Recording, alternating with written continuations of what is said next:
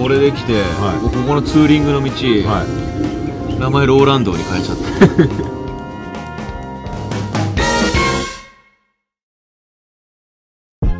大型二輪の免許を取ったってお聞きしたんですけれども、まあそうだね、はい。あのこの前ヤマハさんと仕事させてもらって、はい。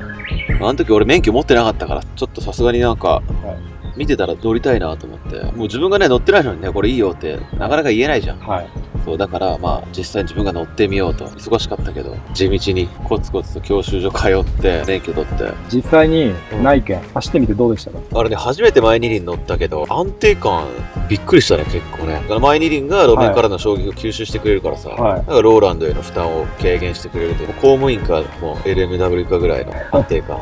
横風とか今日山だったんで、うん。少しあったかもしれないんですけど、いやでも実際この、まあ、横風強かったけど、はい。横風が吹いた時でも、まあ、はい。ふらつきがはい、少ない、い、つも車とかでもさウインカー出す時はオーラでとか、はい、風が来たらオーラで守りますとか、はい、まあ、そういうこと言ってたけど、はい。まあ、そういう必要もなくてオーラがない人でも前二輪で乗ることによって安心して運転できると、ローランドさんが内見を気に入った理由って何なんですまあ、車で？かはい、いろんなとこ行きたいなってのもあったんだけど、はまあでも内見乗ってからはバイクでこう自然が綺麗なところとか来るのもいいかなって思うようになったから自然との、まあ、一体感マシンとの一体感自分の体の一部になったような、はい。そんな感覚がするからそこがまあ車にない魅力なのかなっていう。い、ローランドさんに気に入られたものって本当幸せですよね。だからそこ気に入るまでが長いんだけど、はい。気に入ってからまあ熱しにくく冷めにくいタイプだから、はい、もう幸せだと思うよ。幸せもんですね内見。そうだね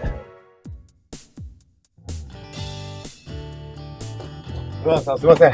遅れました。すいません。すまあ全然大丈夫だよ。いません。ちょっと。2時間ぐらいしか待ってないから。ええすいません、ま、ちょっと座っていいですか？ん？ちょっと座っていいですか？まあすまんねありがとうございます。いやなんすかこの霧みたいな。真っ白のやばいのこれ。これは、はい。スターとかがライブで登場するときとかさ、はい。スモーク出てくるでしょ？はい。あれ。それですか？さすがっすね。あお前にこれは見せなかったんだよ。はい。お前に足りないとこは、はいまあ、300個ぐらいあるけど、でもまあ、その中の足りねえ中のな、はい一番お前に足りないのは、はい自然を感じること？もはい。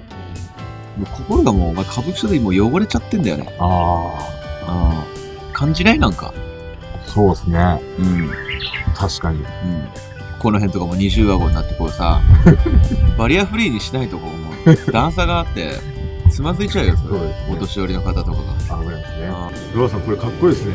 これできたんですか？うんこれかっこいいっしょ。はい。これできて、はいもうここのツーリングの道、は名前ローランドに変えちゃった 内見ってやっぱいいよねい。いいっすね。はもう俺しりとりで最後終わるならもう内見で終わりたいい。おー、あさすがですね。まあ世の中にはさはい。2種類のバイクしかなくてはい。ヤマハか、それ以外かうわー、そうきましたか。あいやー。俺もこの自然で、なんか価値が上がりますかね。うんそうだねちょっと一回こう目閉じてはい。小鳥のさえずりをさはい。聞いてみ？いいないいっすね。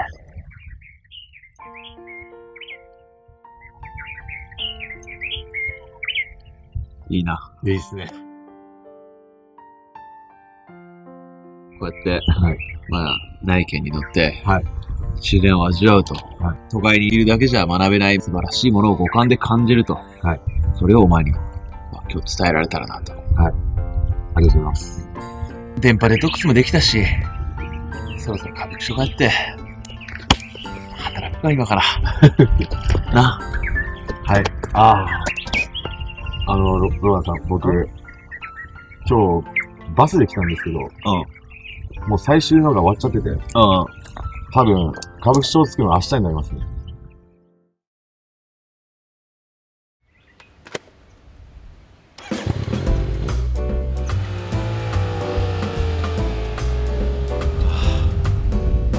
俺も免許取るか。